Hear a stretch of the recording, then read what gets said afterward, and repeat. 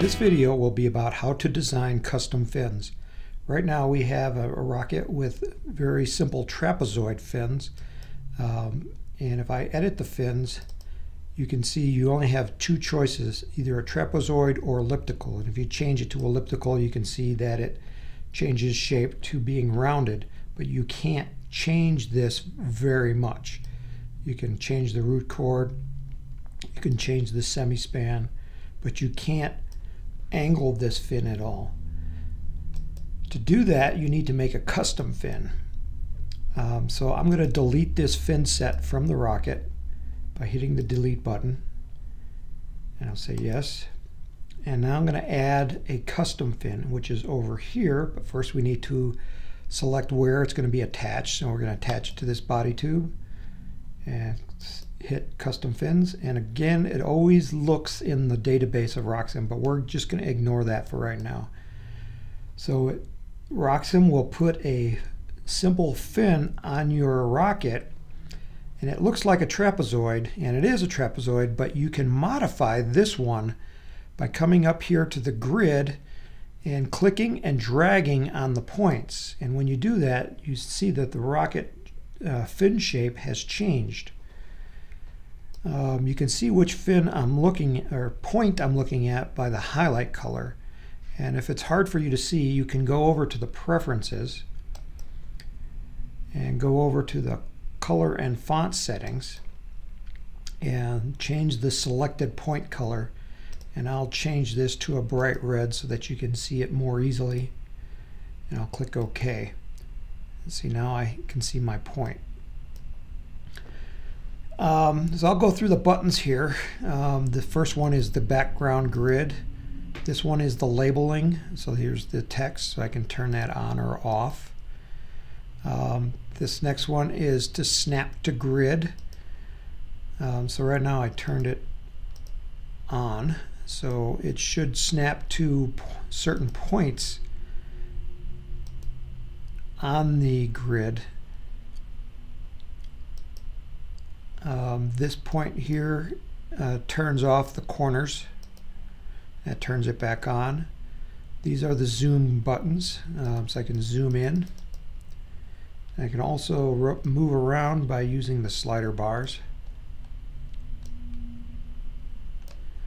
Um, to get points here on the the um, forward side, I scaled down and now I can click and drag these points further out. And if I scroll and make it even smaller, I can go forward of the root edge of the fin where it attaches to the tube. I can make that a little bit bigger by changing the size of the screen. To delete points, you'll click on this button over here. So click, um, highlight it first, and then each point that you click on will be deleted. And to turn that off, just unselect it and then you can start adding points again.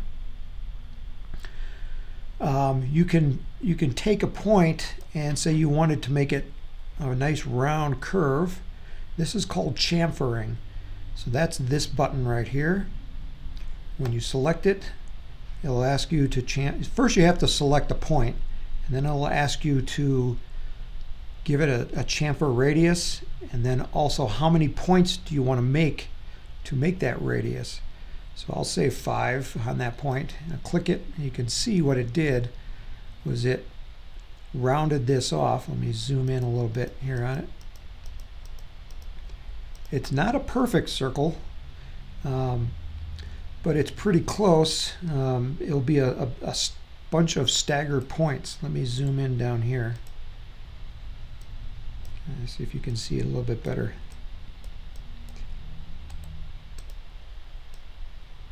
you can see that it's it's a number of points now.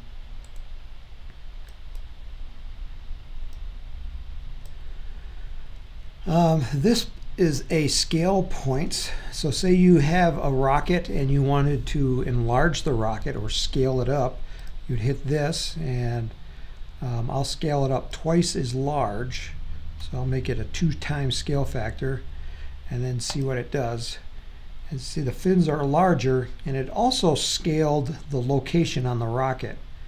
Um, so if I want to put it back on the rocket, um, I can change it to the base of the owning part, make it a zero, and it will jump back onto the rocket like that. I'll go back to the plan points. Um, and let me scale it back down to its original size. So I'll make it 0.5 scale and click OK. And now it's back to what I had it originally. Now, one of the all things that you can do is if you're trying to uh, draw a rocket into RockSim from a plan, you're going to need the points on the grid. And the easiest way to do that is to do it off, off of RockSim and then come back on. And we have a newsletter that describes this.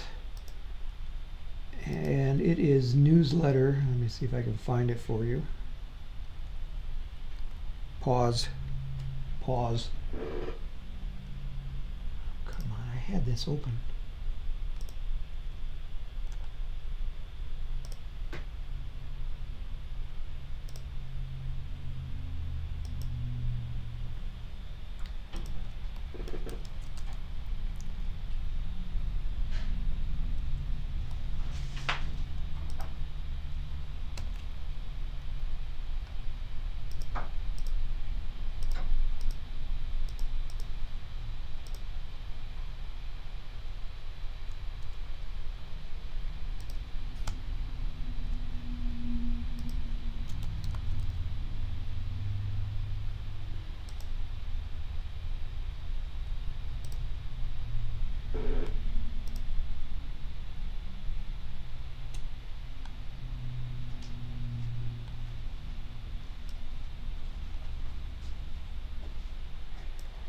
This will be newsletter 488. And if you go to our newsletter section on our website, uh, to get there, you go How To and Guides, and then Peak of Flight newsletters, and then all newsletters, and then you're looking for newsletter 488, which is this one right here, entering scale, cust entering custom fins into RockSim, and it will describe the process.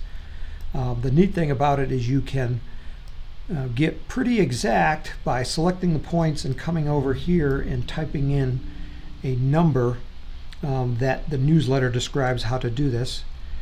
Uh, so if I make it 1.75, you'll see that point jump a little bit.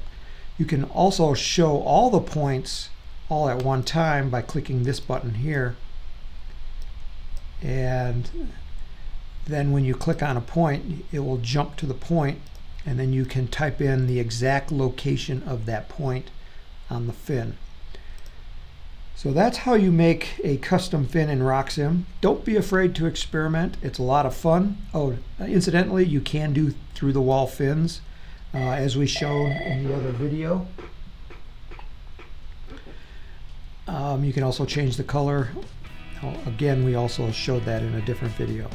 So that's custom fins. I hope you enjoy it and have a lot of fun doing it.